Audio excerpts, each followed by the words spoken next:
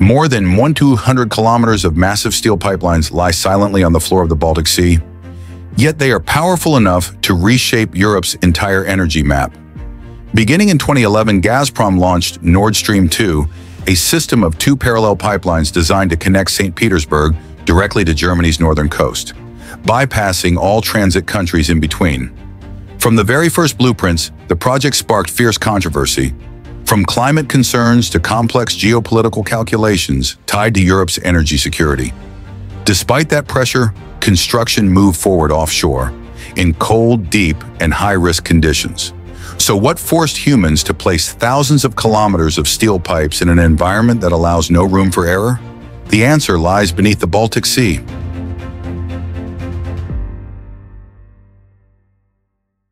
Despite intense environmental controversy, mega-scale gas pipeline projects continue to move forward because of their strategic role in energy security. Nord Stream 2 alone carried an estimated construction cost of over 11 billion, stretching across multiple years and involving thousands of workers and large offshore construction vessels. But that scale comes with serious environmental risks. Even a minor failure on the seabed can trigger methane leaks, a greenhouse gas far more heat-trapping than CO2, in conditions where rapid intervention is nearly impossible. This risk became reality in July 2021 in the Gulf of Mexico, when a subsea gas pipeline operated by Pemex ruptured forcing gas to the surface and igniting into massive flames that burned for hours, creating images widely described as an eye of fire in the ocean. The incident revealed a harsh reality. Beneath the sea, every technical error can escalate instantly into a disaster beyond human control. Before Nord Stream 2 could become an offshore construction project, it existed first as a complex planning challenge that stretched on for many years. The objective was to create a direct connection between Russia's massive gas fields and Europe's major energy markets. However, the shortest line on a map was not necessarily the most feasible route on the seabed. Spanning roughly 130 kilometers, the proposed pipeline would pass through the territorial waters or exclusive economic zones of five different countries, each with its own environmental regulations, technical standards, and strategic interests tied to the Baltic Sea. From the earliest stages, the marine environment became a central factor shaping the entire planning process. The Baltic Sea is a semi-enclosed body of water with limited natural self-cleansing capacity and a long history of pollution from industrial activity, shipping, and coastal cities. Even minor disturbances to the seabed can resuspend contaminated sediments or disrupt sensitive ecosystems. For this reason, every country along the route required detailed environmental impact assessments before granting construction permits. To meet these requirements, survey teams carried out high-resolution mapping of the seafloor. Multi-beam sonar systems, seismic instruments, and unmanned underwater vehicles were used to analyze seabed topography, sediment layers, and potential risk zones. One unique challenge in the Baltic Sea is the presence of unexploded munitions left behind from World War I and World War II, scattered across the seafloor for decades. Whenever possible, the pipeline route was adjusted to avoid these hazards. In areas where avoidance was not feasible, the unexploded ordnance had to be neutralized through controlled detonations. To reduce the impact of underwater shock waves, contractors deployed bubble curtains around the blast sites, helping absorb acoustic energy and protect marine life. Only after the route was finalized, environmental risks were brought under control, and the legal requirements of each country were satisfied could Nord Stream 2 move into the construction phase. In many ways, this planning stage became the foundation that determined the success or failure of the entire project. The first phase formed the foundation of the entire project, and focused on the production of more than 200,000 steel pipe sections, each manufactured to extremely strict precision and quality standards. This was a massive logistical challenge, requiring large-scale industrial production capacity and rigorous quality control. The pipe sections were made from high-strength steel plates, specifically engineered to withstand operating pressure and the harsh marine environment. Each section had an outer diameter of approximately 1,150 millimeters and a length of up to 2 meters. The manufacturing process began by forming the steel plates into cylindrical shapes, followed by longitudinal seam welding. Hydraulic expansion was then applied to achieve precise dimensions and roundness, and the pipe ends were beveled to prepare them for field welding during installation. To meet the project's total material demand, three large pipe manufacturing plants were mobilized. These facilities operated continuously, maintaining an average production rate of nearly 100 pipe sections per day. Every single pipe section had to undergo a comprehensive quality inspection process, including non-destructive testing of weld seams, to ensure the pipe's structural integrity. The application of protective coatings was mandatory to ensure long-term performance and operational lifespan. During pipe fabrication, multiple protective layers were applied to optimize flow efficiency and preserve structural integrity over time. Specifically, a low-friction epoxy coating was applied to the internal surface of the pipe.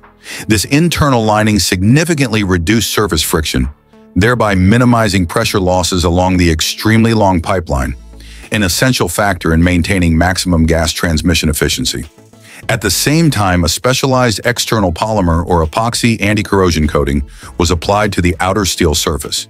This layer served as the primary protective barrier against electrochemical and chemical corrosion caused by the highly aggressive seawater environment of the Baltic Sea.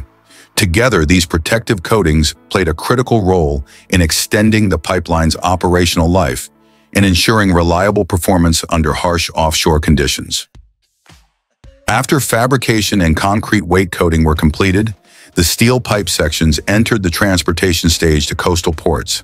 This was a critical logistical phase, requiring precise coordination between manufacturing plants, storage yards, and port infrastructure. Each pipe section, weighing several tens of tons, was loaded onto specialized transport vehicles, or inland vessels, and moved to coastal transshipment ports in Finland and Germany.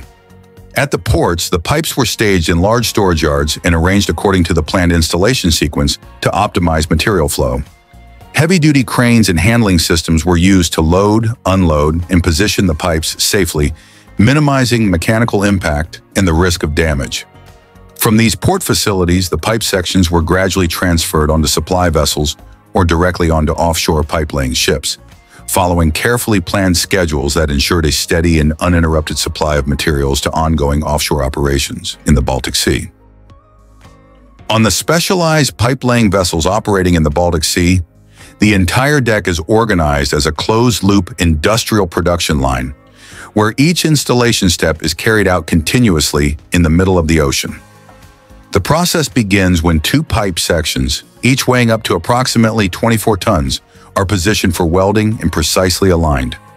Automated welding systems then complete the circumferential weld around the pipe, after which specialized inspection equipment immediately scans the entire weld to detect any structural defects or leaks. Only joints that meet all technical standards are allowed to proceed further along the line.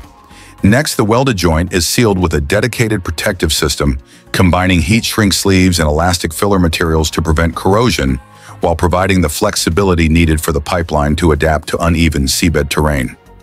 As the vessel slowly advances along the predefined route, the connected pipe sections are continuously guided into the water and gradually lowered into their designed position. Through tight coordination between transportation, installation, and positioning systems, this method enables the installation of up to three kilometers of pipeline per day, a pace rarely achieved in offshore construction. The pipeline installation process had to address geological and marine environmental challenges through seabed preparation and the management of crossings. While in many areas the seabed was smooth enough to keep the pipeline stable with minimal intervention, this condition did not apply along the entire route. In sections with uneven or rough seabed terrain, specialized vessels were deployed ahead of pipe installation to level depressions using rock and gravel creating a flat and stable foundation for the pipeline to rest on. By contrast, in shallow water areas where pipelines are exposed to strong wave action and hydrodynamic currents, the pipes could not be laid directly on the seabed. Instead, they were placed inside pre-excavated trenches, which were later backfilled to secure the pipeline in position. In addition to natural seabed conditions, the Nord Stream 2 route intersected with other existing subsea infrastructure.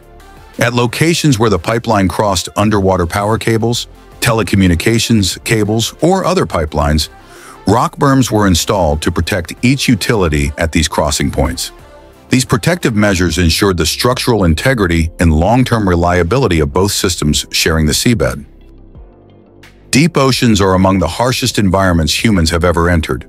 Pressure rises rapidly with depth, salt water constantly corrodes metal, and ocean storms can destroy structures weighing tens of thousands of tons. Yet beneath these hostile waters, enormous oil reserves have been discovered, particularly in the Gulf of Mexico and offshore Brazil. To reach oil trapped thousands of meters below the surface, engineers were forced to create one of the most complex structures ever built the offshore oil drilling platform. Unlike onshore extraction, offshore drilling is not only a challenge of depth, but a direct confrontation with the sea itself. A modern drilling platform can rise hundreds of meters above the waterline and weigh more than 50,000 tons, engineered to withstand hurricanes and waves exceeding 30 meters in height. Long before such a structure appears on the ocean surface, preparation begins years in advance starting with extensive geological surveys. Engineers use sonar systems and remotely operated vehicles to analyze the seafloor and identify rock layers capable of supporting massive loads. In shallow waters, enormous steel piles are driven deep into the seabed and locked in place with high-strength concrete, forming the foundation for fixed platforms. In deeper waters, however, platforms do not rest on the seafloor. Instead, floating structures such as semi-submersibles or spar platforms are employed, stabilized by mooring lines stretching hundreds of meters down to massive concrete anchors. Once the platform is towed into its operating position, the real work begins. A continuous drill string must pass through the water column, where pressure increases relentlessly with depth, then continue several kilometers into the earth to reach the oil reservoir. Directional drilling technology allows the drill bit to curve precisely, extending reach and accessing oil pockets scattered beneath the seabed. To function without interruption, each offshore platform operates like a small city. Control rooms, living quarters, medical facilities, power plants, water treatment systems, and oil and gas processing units must all function together in a confined space. A large platform can produce tens of thousands to hundreds of thousands of barrels of oil per day, generating enormous economic value. Yet the ocean also carries severe risk. From the Piper Alpha disaster to the Deepwater Horizon spill, history has shown that a single offshore failure can cause environmental damage lasting decades. Despite the danger, humanity continues to return to the open sea because beneath the dark waters lies an energy resource capable of shaping the global economy. That enduring pursuit continues to redefine engineering limits, risk tolerance, and ambition. Then the desert is the battlefield where they confront an invisible enemy, heat, wind, and absolute emptiness. Harvesting energy in a sea of sand was once considered impossible. But when massive reservoirs of natural gas were discovered beneath the deserts of the Middle East, the Sahara, and the Basin and Range Province in the United States, a new chapter of engineering began one defined by drilling rigs standing alone in places where even life struggles to exist. Ground temperatures in many deserts can climb to 70 degrees Celsius, hot enough to warp steel over time. Humidity hovers near zero, causing metal to oxidize at a brutal rate.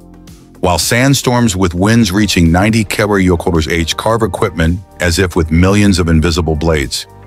Yet in conditions that seem designed to erase every trace of human presence, Drilling rigs weighing hundreds of tons rise like steel towers, defying nature itself. The construction journey begins with stabilizing the foundation, the hardest problem on shifting sand. Engineers must drill down to the bedrock, sometimes as deep as 80 meters, then drive heavy steel piles and inject cement grouting to prevent the desert from slowly swallowing the structure. Next comes the transport of hundreds of massive steel components across trackless terrain, where each convoy may spend hours covering only a few dozen kilometers. Once the drilling tower is raised, the next challenge is advanced horizontal and deep drilling technology. Major gas fields such as Ghawar and South Pars lie roughly 5,500 meters underground. Drill pipes must be forged from K-Armo alloy or N80 steel to withstand immense pressure and prevent cracking, while a special polymer coating protects them against corrosive H2S gas a toxic compound commonly found in desert reservoirs. To operate a drilling site in the middle of nowhere, workers must build an entire miniature ecosystem, heat-resistant living quarters, air filtration systems, and independent power generators. A typical desert drilling rig consumes 1 to 2 megawatts of electricity, roughly the same as a small residential neighborhood. But the greatest danger is neither heat nor sandstorms. It is the instability of the underground formations. Many regions contain high-pressure gas pockets, where even a small miscalculation can trigger a catastrophic blowout. One such event occurred at the Hassi Messaoud oil field in 1980 when a jet of fire more than 120 meters tall burned uncontrollably for days. Even so, the desert remains one of humanity's richest energy frontiers. The Middle East alone holds over 40% of the world's natural gas reserves, generating hundreds of billions of dollars for the global economy each year. Beneath the cold, high-pressure darkness of the seafloor, building subsea gas pipelines is more than an infrastructure project. It represents the true limits of modern engineering, from geological surveys and pipe manufacturing to transportation, installation, and marine environmental protection. Every stage demands near absolute precision. A single small mistake can lead to consequences that last for decades. Yet despite the risks, humanity continues to push into the ocean depths to keep the energy lifelines of the modern world flowing. If you enjoy stories like this, don't forget to like the video and follow the Mandarin Tech channel.